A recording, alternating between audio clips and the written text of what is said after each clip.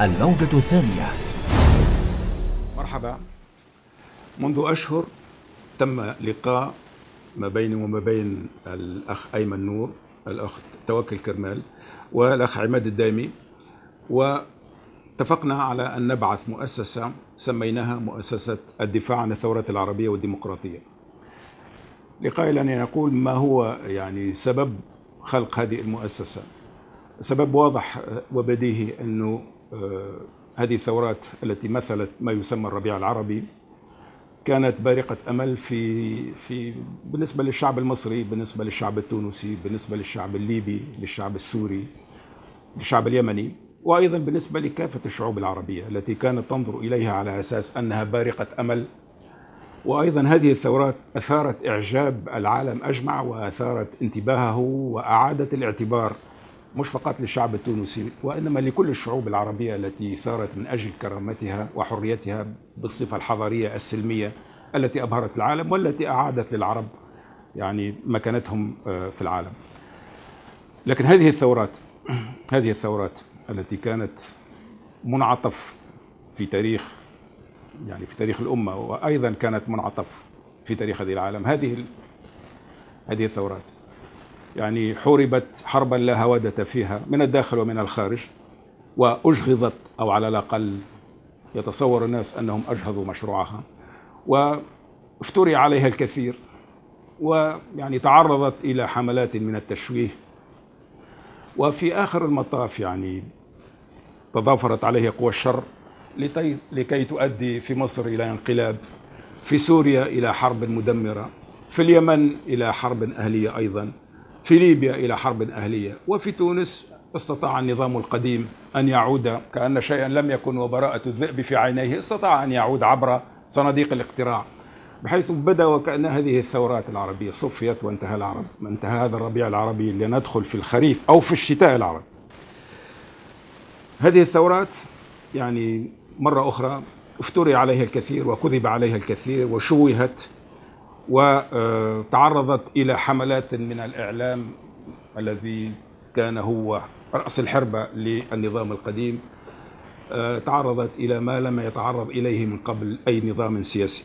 ولذلك فأن دفاع عن الثورة العربية هو أن نعرف بالحقيقة وأن نقول بالضبط ما جرى وأن نفضح الآليات التي أدت إلى إجهاض أو إلى محاولة إجهاض هذا الربيع العربي. إذا ثم هناك حقيقة تاريخية يجب أن تقال.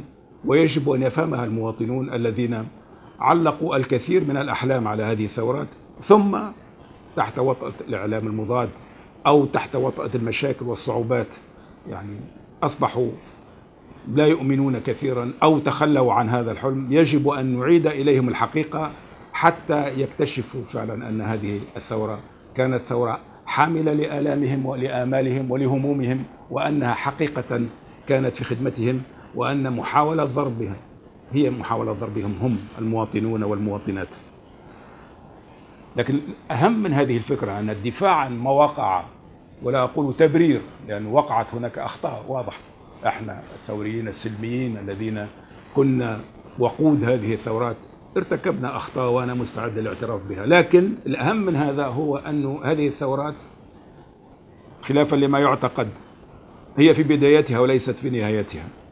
وأن علينا أن نتمسك بهذه الفلسفة التي جاءت بها هذه الثورات العربية لأنها في آخر المطاف هي المنفذ هي التي ستخرجنا من الظلمات إلى النور وليس لنا من خيار غيرها، كل الخيارات الأخرى هي أسوأ من بعضها البعض.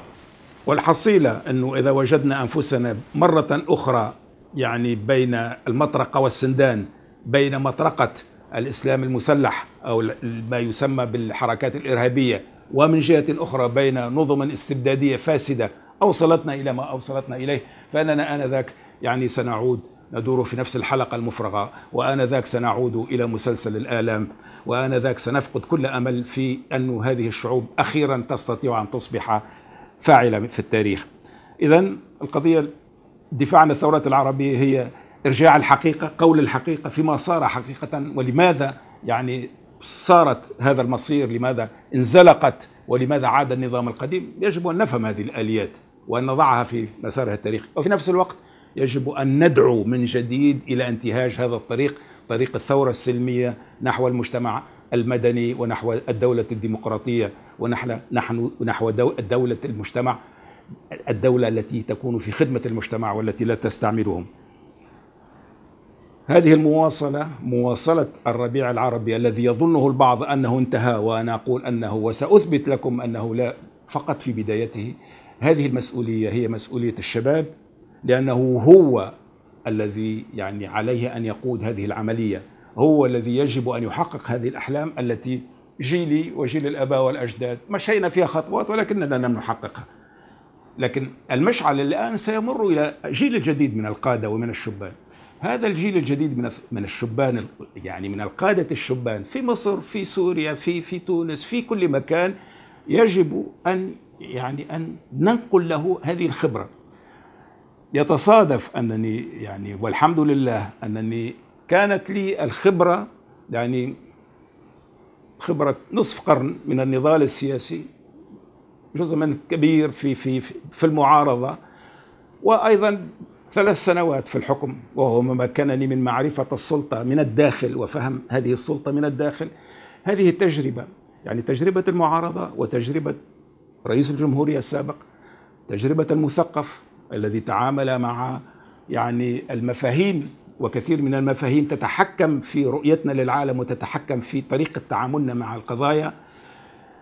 تجربة أيضا الحقوقي تجربة طبيب المجتمع هذه التجربة هي الذي أريد اليوم أن أنقلها إلى الشباب وأنقلها إلى الأجيال المقبلة لأن قناعتي أنه هذه التجربة من الضروري أنها يعني تنفع لأنها قد تقي عثرات قد تربح الوقت الضروري لبعض القيادات الشباب.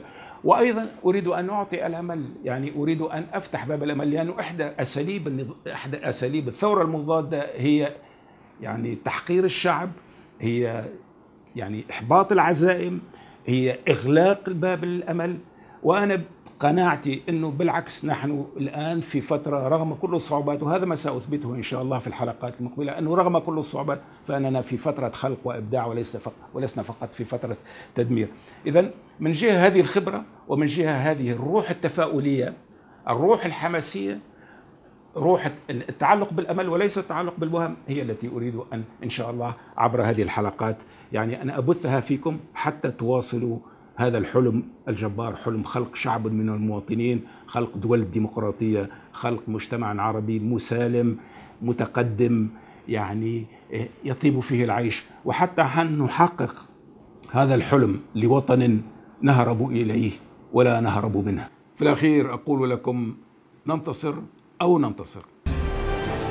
الموجة الثانية.